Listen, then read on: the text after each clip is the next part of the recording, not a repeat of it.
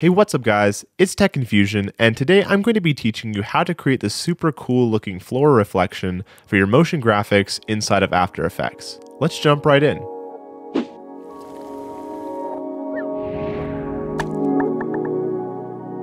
I'd like to start by thanking PDFelement for making this video possible. If you're looking for an affordable and easy to use PDF editor with features that beat the competition, you'll definitely want to give PDFelement a try. This software makes it easy to edit the information in a PDF, and you can even convert a scanned image into an editable document with the included OCR function. I just recently bought a house, so I've been signing a ton of documents, and PDFelement made it super easy to quickly sign everything I needed. PDFelement is available on PC, Mac, iOS, and Android. Right now, you can get up to 50% off, so make sure you check out the links in the description while the promotion is still going.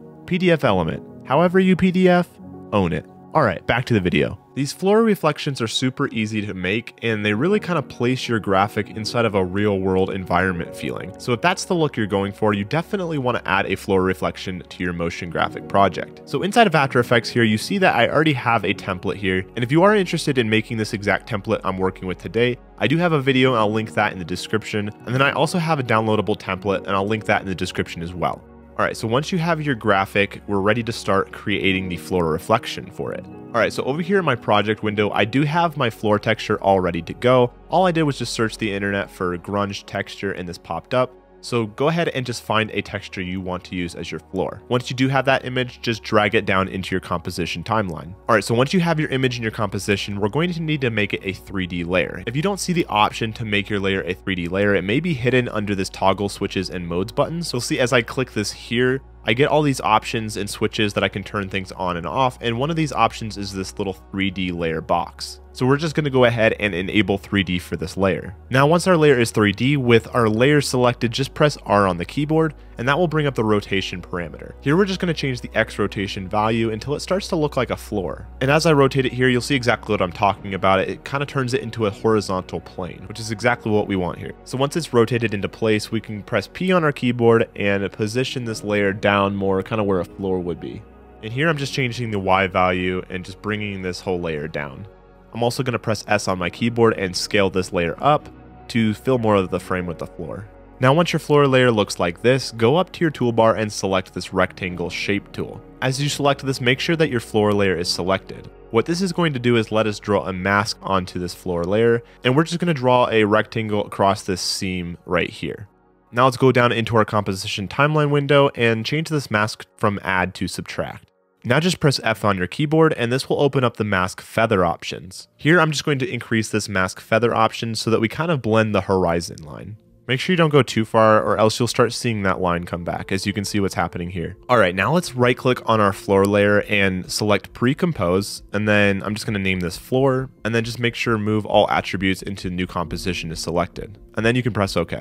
All right, go ahead and drag the floor pre-composition we just created below our motion graphic layer. And then you can also click this little eye icon over here to hide the floor layer as we won't actually need to see the floor layer itself. We're just going to be using it in a blur that you'll see later. Alright, so the next step is we actually need to select our motion graphic layer and press Ctrl or Command D on the keyboard to duplicate the layer. And then by pressing return on my keyboard, I'm just going to rename this second duplicated motion graphic layer to reflection and then drag it below the motion graphic layer. Now with our reflection layer selected, go up to layer, transform, and then select flip vertical. After it's flipped, go ahead and press P on your keyboard and let's position this reflection layer below our main motion graphic layer to kind of simulate what a natural reflection would look like anyways. I'm to select my main motion graphic layer and select P on my keyboard again and just move it up a little bit. It won't be directly in the center, but I'm kind of okay with that since I'm going to have a reflection layer underneath it. All right, now the next step is to create a new adjustment layer. We can do this by right clicking anywhere in the blank space in this composition timeline panel and selecting new and then selecting adjustment layer. Let's drag this adjustment layer below our main motion graphic layer and right above our reflection layer. Okay, so now we need to add a compound blur to our adjustment layer. You can do this by going to the effects and presets window. If you don't see the effects and presets window, you can go up to window in your menu bar and select effects and presets. Now in the effects and presets window, let's search for compound blur and then just drag that onto our adjustment layer we just created. Now in the effects controls window, we're going to change a few parameters and then we're pretty much done with this effect. Go to the blur layer option and we're going to change this selection to the floor composition that we made earlier. Now the next setting we're going to tweak is the maximum blur setting. I'm just going to raise this up to somewhere around 80. Really this option is going to have to be different depending on your floor texture, but you can kind of just tweak it to where it looks right to you. And as you can see as I bring up that maximum blur option, we're already getting all those natural looking reflections back in our floor layer. I'm going to go ahead and play this back and kind of see how it looks with our motion graphic file reflecting off the floor. So from here, there's a few more things you can do to kind of help sell the whole effect. If you want your reflection to be more blurred, select your reflection composition, and we're just going to add a fast blur to our reflection composition.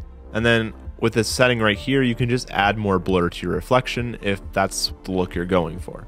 Another thing I like to do to add more realism to the reflection layer is to enable 3D and then rotate the X axis so that it looks like it's coming towards me. And then we can kind of mess with the scale here to match it to the original motion graphic.